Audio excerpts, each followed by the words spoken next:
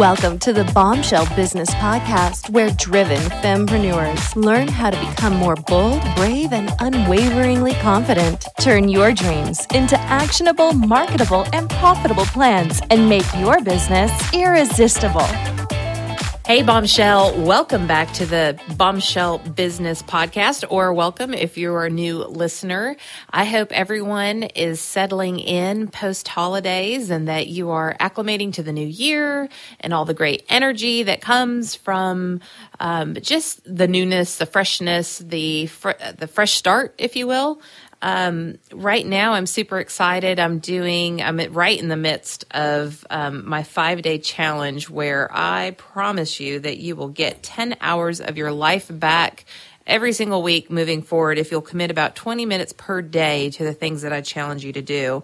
Um, a little out of my comfort zone maybe not my comfort zone, but just maybe my area of expertise. Um, I definitely am sending uh, participants an email every morning, so writing, totally down with that. Um, but I'm also doing a Facebook Live every day at 11 Central Time. Um, and so there's already um, some up there by the time you listen to this episode. And um, yes, because I'm recording in the week, because I too am quite adjusting from a crazy um, holiday season, a crazy and a blessed holiday season, and I'll get to that in a second. Um, but I've got some uh, Facebook Lives that are recorded. You could go back and watch and um, participate in this challenge because I'm giving you real concrete strategies that you can implement and um, get that time back so you can up level so you have time to do the things that you want to do that maybe you, you can't do because you're so in the weeds day to day. Um, so having a lot of fun with that. Back to the holidays not only did i get great time with my family all my family um, all of my siblings my um, including um, my sister came to town. Um, my other sister didn't make it so that was a bummer but um, got to spend great time with all of my kids in the same room in the same state, which always makes me happy. And my stepdaughter and son in law had our second grandchild. So um, welcome to the world, Annabelle Reese. She's joining Ellie Claire, and um, they are quite happy, healthy. Everything is grand. So we have a two year old and a newborn um, in the family um, in, in the grandkid category. So they call me Gigi and I think it's totally awesome. I love, love, love it. So, lots of good things happening. Um, I hope that you had time to reflect on all the good things happening in your world. But um, today, I don't know why. I just felt like this is what I needed to talk to you about. Um, it wasn't really what I had intended on talking to you about, but um, I, I think that we need to talk about how to deal with people who suck. So today's episode um, is for those of you who are like me, like you have a great life, um, you're very blessed, you're trying to kick butt and take names and really do something in this world and use your gifts and talents to help other people and obviously provide for your family and all those good things. And then like these people who suck come in and you're like, why are you being such a butthead? Like, why does this have to happen? Um, and, and there's a way to manage that. So today I'm going to teach you, there's so many different ways, but I will teach you three ways to deal with people who suck. So first way that I would normally tell you is just remove yourself from their sphere of influence, but that's not always a reality, right? So if if you have maybe a friend who is just an energy suck, or um, maybe they're a time suck, or um, maybe they just make you feel like less than who you are. That is a legitimate reason to remove yourself from their sphere of influence. Now, what do I mean by that? I mean, like, stop hanging out with them. Stop saying yes when they invite you places um, or, or to um, activities or, or whatever. Um, you know, phase them out of your life. That's, that's the obvious solution, but for some reason, um, when I talk to women, especially, they feel guilt around like this particular situation. And anybody who knows me, I am, I am so open. I am ridiculously open. Like I have no uh, filter, my my mystique personality trigger, if you're f- familiar with fascination assessment, like is non-existent. Um, and so I'm very very open. But in terms of who I actually allow to have time and space in my life, I'm very guarded um, because I know to guard my heart and I know to guard my life and. Um, and I know that I only have so many breaths each day, and those breaths are going to be uh, given to the people who um, are blessings and who are positive and who I want to be like and who um, you know care about me and my family and my business and those sort of things. So, um, unfortunately, we are in circumstances, especially in business, where we can't just remove ourselves from these people's sphere of influence. Sometimes we have to deal with people we don't like. Sometimes that is um, customers or vendors. Sometimes that's even your own employees. Could be um, your business partner and you are having challenges. Um, maybe you listen uh, to this podcast and you're not a female business owner. Maybe you are um, someone who works for a company and you have somebody maybe in your department that sucks. Um, so, I mean, the list can go on and on and on. You could be in a volunteer situation where you're on a committee with somebody who's just terrible. Um, and so these three ways to deal with people who suck are for you, for the people who can't just say, you know what, this person's just not going to have my time or energy anymore. So, number one, I want you to be a broken Coke machine. Do what? Amber, what are you talking about? I want you to be a broken Coke machine. Now, understand I live in the South, so everything's a Coke. Like if you want a Dr. Pepper, it's a Coke. If you want a Sprite, it's a Coke. If you want a sparkling um, or carbonated beverage that has syrup in it to give it flavor, that is a Coke in the South. So maybe I should say be a broken soft drink machine or soda machine or pop machine or wherever you are in the country. Um, fill in the blank of what you call a soft drink. Uh, and so, uh, what does that mean? Okay. So just go with me to the break room of, of anywhere. You could be at a hospital. You could be, now let's go to your work. So let's just imagine that you have a soft drink machine at your work. And um, one day you go in and you put, you put the money in there and it doesn't give you a Coke back. So you're like, oh, that sucks. Maybe you shake the machine, maybe you hit like, you know, refund or return or whatever, and you don't get your money back, and you also don't get a Coke. So you're a little bit frustrated. You didn't get what you want. So you stomp off, but you come back the next day, right? Because that was a fluke and you want a Coke the next day. And so you come back and you look for that Coke again and you put the coins in or the dollar or whatever it is. And, and then the Coke machine doesn't give you a Coke again and you're like, well, oh my gosh, this sucks. Like this machine is not working. And so you go away and you're frustrated and maybe you wait a week this time because uh, surely by then it, has been fixed or the person has come and serviced it or whoever's responsible for the for the soft drink machine has done something surely to goodness right so you come back in a week and you put your money in and you are so excited about your refreshing coca-cola and it still doesn't give you a Coke. What do you do from there? You probably don't go back to that machine because it didn't give you what you wanted. You came at it with your money and it did not respond the way that you wanted to. So you just give up on it because you didn't get the reaction. That's what I want you to do when somebody comes at you with their dollar bill wanting a Coke.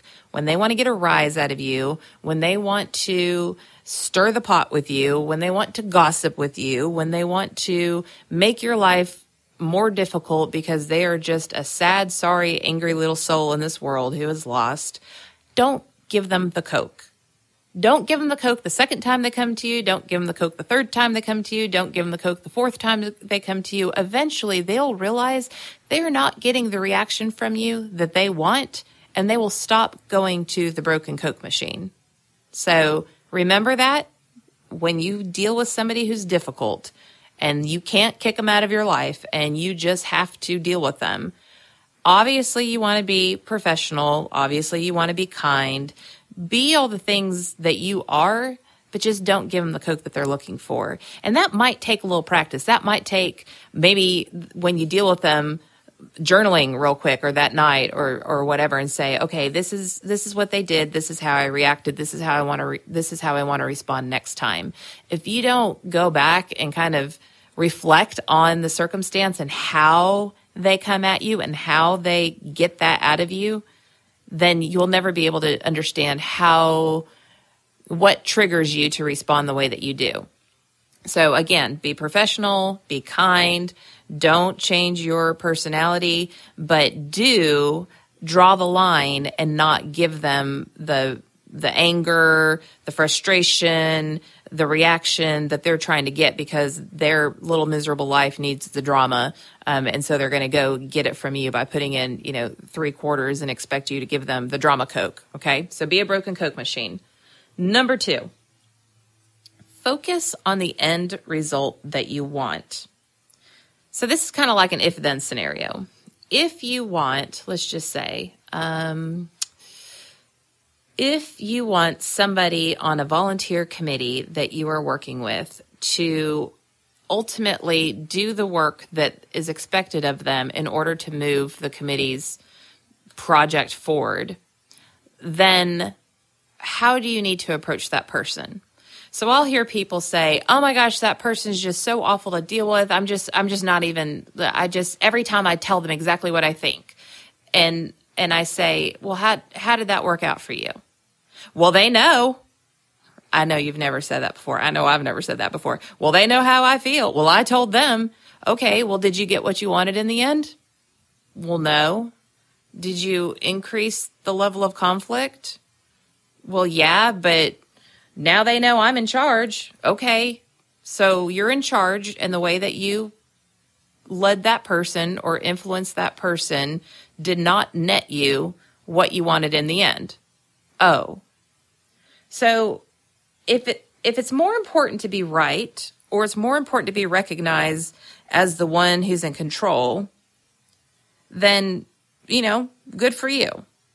But if it's more important to get your way in the end. By your way, I mean the vision of the committee or a happy marriage or a good relationship with an employee. If that's really the end result that you want, then you have to kind of turn into a little bit of a psychologist. You have to understand what motivates them. You have to understand what is making them be negative and push back. Once you can find out what drives that person and what motivates that person, then you can start to be a little more strategic in how you communicate with that person. Sometimes people just need to be heard. Sometimes people need a platform. Now, I'm the first person to like call out passive aggressive behavior. I'm the first person to get a meeting back on on target.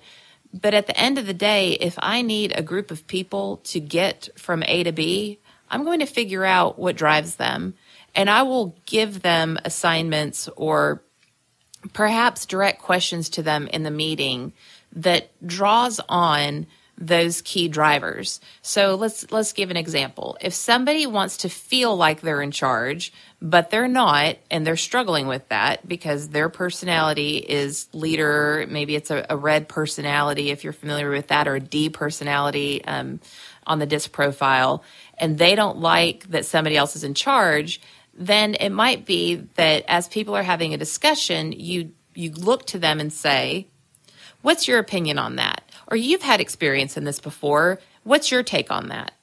Giving them the opportunity to step into the role that they desire makes it a lot less harder on you. Now, that doesn't mean you have to let them take over the reins, but what can you do in order to drive them in the direction that you need them to go? You could just say, well, this is how it's going to be. Suck it up, buttercup. But if that doesn't get you the end result that you're looking for, then I mean, you're you're losing. So it's a lose lose situation. So I want you to focus on the end result that you want, and then go from there. Okay, number three. I want you to allow people to show you and others who they really are. This is a tricky one. Um, first of all, the cream always rises to the top. So no matter what you do, if somebody is a um, how's how do I want to say this? A, a crapster. Sorry, moms, if you have the kids in the back seat. Uh, if somebody is like that, that's going to manifest in all areas of their life. People are going to recognize them for that. They are going to show their true colors. If you try to battle that eye for eye, then you might be associated as a crap stir.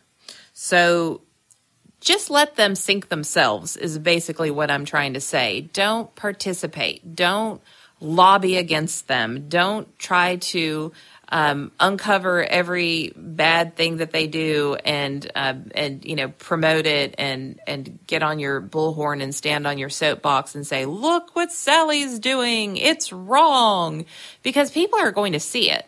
Now, I'm not saying that you shouldn't address problems directly, and especially if it's in your organization. If you or your company, if it's your company and there is a crapster on your team, then you need to address that one on one.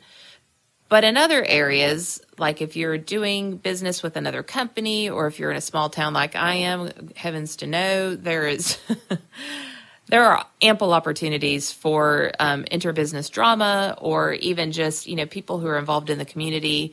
Um, I, I, can see this getting tricky, especially um, you know like on volunteer committees, or maybe if you do business with an, another company in town, and um, maybe not everybody in that company's uh, shares the same values as you. So it could be that you're working with like a sign company, which, for the record, my sign company is freaking amazing. They're the most awesome people ever. So I'm going to use this as, as a very far fetched example. But maybe you have to work with a sign company and you already have um, a contract with them. They're already you're like halfway through the project. You, I mean, it just doesn't make sense to to back up yet.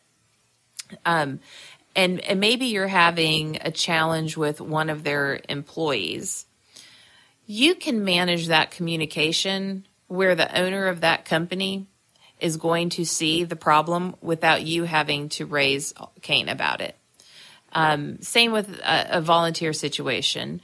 You can you can move forward with a project with all people participating in said project and allow that person's true colors to show simply by allowing them to hang themselves, essentially. Martin Luther King says that darkness cannot drive out darkness, only light can do that. So sometimes it's tempting, and I see this happen a lot with females. Um, sometimes it's tempting to you know, go an eye for an eye. And if somebody talks about you or they um, do something to undermine you, um, maybe they backstab you in a situation, it's it's easy to want to maybe quietly um, infiltrate uh, the the scene and let people know, oh, this person did this, this, and this, and and start that gossip train um, because you are hurt and you feel like this person is is damaging your reputation or maybe this person is making life more difficult on you maybe they're by their actions it's causing you to do twice as much work and you just wish that they weren't involved at all. Um, and the reality is that if you try to do that if you if you get your if you stoop down to their level and you get in the the mud bath with them, then you're going to be covered in it too. So take the high road. Your actions will be exactly your testimony. And I'm not getting biblical here. I'm saying that y- your actions are louder than their words. And when people see that that person is consistently causing problems or being a roadblock or whatever, they will self identify as a person who sucks. And you will self identify as a person who's always there for people. You always move projects forward. You don't get into drama. You stick to business. Um, you know, you try to be helpful and that sort of thing. So, you know, be the light, and your light will shine that much more brightly when you're in the midst of their darkness. And keep in mind, too, you have no idea what's going on in these people's worlds. Um, if there's one thing that I've learned the hard way through just my own fall from grace um, as a teen mom, it's it's that you have no idea what people are dealing with in the in the behind the scenes. And I guess, you know, we talked about this in junior high, and let's just be real. Sometimes as adults, it's like, for real, am I in junior high again? Like, this is kind of ridiculous. Um, but in junior high, sometimes we talked, you know, in the after school specials or on the sitcom, you would see that somebody was a little bit of a bully or, you know, maybe they were a jerk face. Um, they were just mean or gossipy. The, the girl in your class that was just, you know, awful and then you found out, you know, that person's parents were going through a divorce, or maybe they're, you know, one of their parents was dealing with addiction, or, you know, maybe they had a, a loss in their family. Maybe they're being abused. And so that was kind of like the after school special in junior high. Well, guess what? Some people just never grow up and they don't emotionally mature. Um, they, they have uh, limited emotional intelligence and they just haven't had enough life experience sometimes to mature beyond that junior high mentality. And so if you approach all people, and I'm not saying I do this 100%, sometimes I just want to punch people in the throat if I was being quite honest. But I have learned that if you approach people first with grace and maybe just understanding that they're so miserable that they have to vomit out that misery in your world. It's just, it, they can't even contain it. They just have to spew it on the world and on the people around them. You almost have to feel bad for them. So keep your nose clean. Don't stoop down to them. You stay at the level that you operate at. You stay a light in the darkness and, and, and be who you are no matter how people are around you. I think that's the most important part. You hear me say just do you repeatedly. And when I say just do you, I'm saying shine brightly as as the person that God made you to be. As as the only person who can be you. Shine brightly in the good times. Um, shine brightly when you're insecure.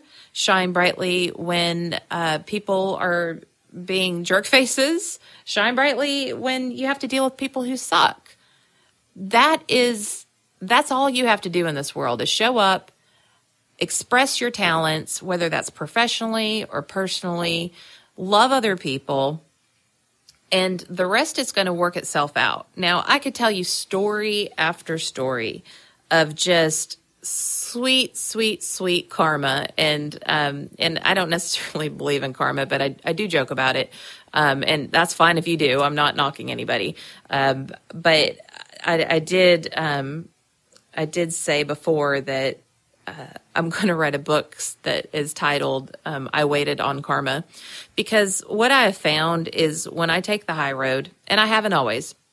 Let me just be, you know, frank with that. But in general, in very difficult conversations or very difficult situations where I was deeply hurt, and I I'm thinking personally, but but professionally, when I was just deeply, deeply hurt, it sucked then. And I wanted to react then. And I wanted to avenge myself then. But in the end, when I look back at those situations now, I look at where I am in life and how much joy and how many blessings I have and what strong relationships I have, both current and just ongoing from my past and the success that that I've realized, and I'm not saying this to beat my chest, I'm trying to build up a point here. Um, I've got a great life. And then you kind of look over at the continuous turmoil, the same situations, no growth in relationships, no growth in business. Um, and and you look and you're just like, wow. I mean, in the end, like I didn't even have to do anything, and I still won. I mean, that person is still miserable, and I'm still happy. And so at the end of the day, when you have to deal with people who suck, just know they're punishing themselves anyways with their own misery. So you really don't have to do anything to like get back at them, right? So let's recap. How do you deal with people who suck? Well, here are the three ways. First, you want to be a broken Coke machine. Just don't give the reaction. Two, um, or second, rather, you want to focus on the end result that you want um, and consider that if then scenario. If I want this, then what do I need to do to get that? Of course, without, you know, without breaking any um, uh, integrity or code of ethics or anything. I mean, like from a positive space. What do you need to do if you want a certain situation to happen and or a certain person to be influenced a certain way? And then, um, third, you want to allow people to show you and others who they really are. You don't have to do it for them; they're going to do it for themselves. Um, and and so again, shine brightly just do you. And as you're moving into a busier season, as people are getting back into the game for 2017, um, there's a lot of stress, there's a lot of intensity, and maybe that's what I'm sensing with you all that made me feel like I needed to talk about this. Um, as spring comes, um, people are going to really start. Um, being super engaged and uh, trying to get ahead of like the summer season. And then before you know it, you're going to be at the holidays again. So I want you to focus on being your best version of you. And no matter who comes at you, whether they're, they're great blessings or they're people that you don't really want to deal with and you, but you have to. Um, I just, I want you to find your center, find your joy and use these three strategies to, um, deal with those people who suck. So, uh, if you, if you want to, uh, take part in the challenge that I'm working on this week that we're super excited about, um, just go to amberhurdle.com forward slash, um, you know what? Look for episode 24 forward slash podcasts with an S, amberhurdle.com forward slash podcasts with an S. Look for episode 24. We'll have an opt in there. And then um, you can also go to Facebook and go to my Facebook page. Make sure you give me a like. It's Amber Hurdle Fan. So Amber Hurdle Fan is my Facebook page, and um, if you're listening to this at the beginning of January, then um, my my banner image on there will take you directly to um, the opt-in opportunity to take part in that challenge. So um, I appreciate you listening to this. I also appreciate you hanging with me um, and jumping on the struggle bus with me as I'm trying to get caught up and handle all of my um, eager planning clients who are ready to kick off awesomeness in January. Um, really trying to tend to them, and so this podcast is slipping just a little bit in the days that we re- we release. But I promise I'm going to stick it out with you, and I will get these out. Um, so thank you for your grace on that, and I wish you the best week possible, and I will see you on the next episode. Thanks for listening to the Bombshell Business Podcast. Visit amberhurdle.com for more resources and be sure to tune in again. Cheers to you, Bombshell.